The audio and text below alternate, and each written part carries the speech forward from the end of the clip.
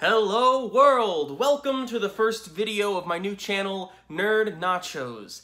This one's gonna be part intro video, part time-lapse drawing, and all kinds of exciting. So let's get started. Oh, it's not some geeky tacos or dorky queso blanco. It's Nerd Nachos!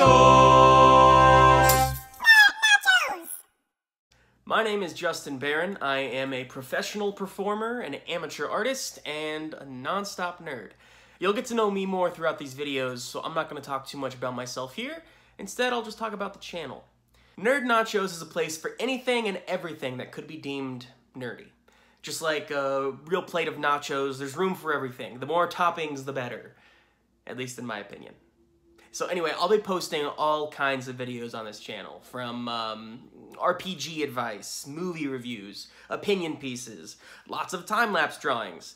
Uh, if you have an idea of something that you want to see from me on this channel, hit me up in the comments. I'd love to hear from all of you.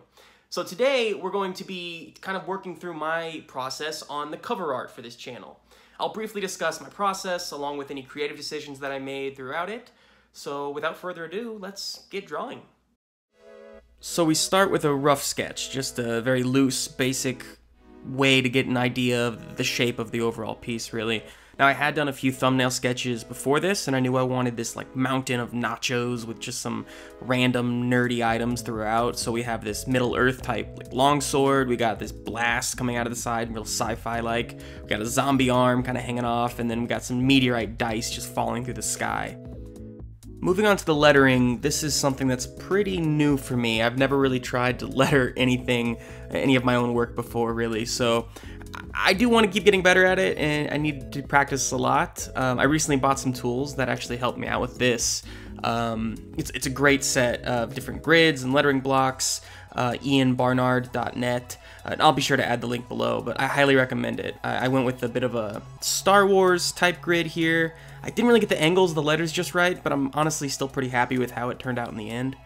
Now I move into more of a refined sketch. Here, I'm just going to start moving through the different pieces from the rough and just start giving everything actual definition, just clear lines, really trying to make sure I know exactly what I want from the piece. You'll notice I'm using different colored pencils on different areas. Uh, this is something that just helps me see the overall different parts of the piece. It also starts letting me get an idea of where I want to take the colors later on, so it's just something that I've started to do in my work. I decided to shrink down the size of the chips just to make the scale of the mountain seem much larger. The effect actually turned out as I'd hoped, um, so I'm pretty happy there. Uh, the one thing I wasn't happy with was this zombie arm. Okay, I just needed to pause the video real quick and uh, have a little heart-to-heart. -heart. I'm still pretty young in my artistic journey here, and I still have a lot to learn. I'm looking forward to doing it very much uh, and growing and whatnot. But at this point in my process, hands are just not great. Uh, fingers, just the, the bane of my existence. Wrists are just a no-go at this point. So I need to improve on that, and I, um, I do recognize that. But right now, just not feeling it. Hands can go poop a, poop a rock. So as I tried to work on the zombie arm, I decided to do what all great artists do. I erased it and drew a cute little robot instead. I actually like this better for the piece anyway. Uh, bloody zombie arm hanging off the edge kind of kills the delicious nachos vibe. So I added some cheese dripping off the side as well, just for good measure. Alright, so now we move on to the legitimate lines work here. I, I switched my brush from a pencil to an ink pen, and basically I'm just going to go over all the refined pencils that I just did. I go back and forth a lot on every piece that I do, trying to decide if I want it to be inked or if I just leave it as the pencils, because I, I really do like that raw sketch feel of just having like the pencils and, and maybe just some charcoal A big factor in this decision to ink this one was the fact that I, I knew I'd be giving it a real digital look and real digital coloring. And to me, that means it needs to be inked with crisp, bold lines. Line weight is a big factor in inking. I've been trying to focus a lot on that lately with the, the heavier lines being in the foreground of the piece. Although it's tedious, I actually find that I rather enjoy inking quite a lot. I It's pretty nice. Alright, here we move into the flats. I like to start by just covering the whole thing in one color. Um, so here I'm using kind of like a tan. Uh, and then just adding layers of color to individual pieces from there. The idea with flats is just to make sure that everything is colored so you're covering every piece of your work. Now, one of the many perks with digital coloring is having the ability to change colors super easily. So if I don't like this specific shade of green, for instance, I can just later go and, and change that on that layer in like two seconds. I've added the cheese now. I think this was probably the trickiest part of this one for me, trying to figure out just how much of the chip should be covered it took a lot of trial and error. That mixed with the figuring out of the, the shape of the gooey cheese, it, it all just it took a while for me. I'm honestly I'm happy with the end result. Just layers and layers of cheesy goodness. Okay, now I'm actually hungry for nachos. Anyway, getting into shading, there isn't too much to see here. I, I have a tendency to go too heavy on the shadows without bringing enough back into the light. I tried to avoid that issue with this one and just to keep everything bright and poppy.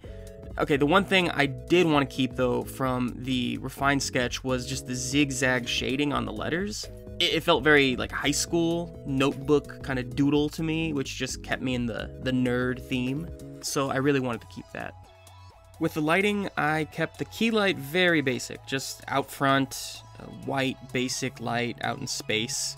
Um, there are two secondary lights. We got the one coming off of the green blast over on the right, and then we have the purple kind of uh, magical dice on the left. So there's just hints of those kind of reflecting off of the different parts of the piece.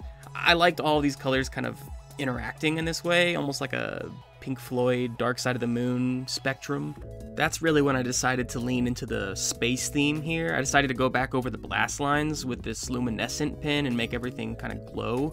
I did the same thing with the red sparks coming off the little robot. And then I added the, the nebula backdrop just to kind of bring it all home. And there we have it, our Nerd Nachos logo. Thank you so much for checking out this video. I, I hope you enjoyed it. Now, I do have one final request from you. I am not gonna have too much fun if I'm just sitting up here talking to myself. So I would love to hear from you give me a comment. Let me know what you thought of the video. Let me know any questions you might have, any critiques you might have. Constructive criticism is preferable, but I'll take suggestions nonetheless. Let me know when you disagree with me. If you disagree with the fact that I think Iron Man 2 is an underrated movie, let's talk about it. It is, though. It is. If you enjoyed this video, please be sure to give me a like, share it with some friends, and don't forget to subscribe so you don't miss anything else I do in the future. Speaking of which, I think the next thing I'll do is a movie review. Uh, Bite-sized, but I just recently watched Sonic the Hedgehog, and I have some thoughts. So if you want to check that out, go ahead and hit that subscribe button right now so you don't miss it. If you have any ideas for other movies I could review in the future, just go ahead and get them in the comments, and I'll uh, check them out. Until next time, be kind, stay safe, and spread some love. And don't forget, stay cheesy.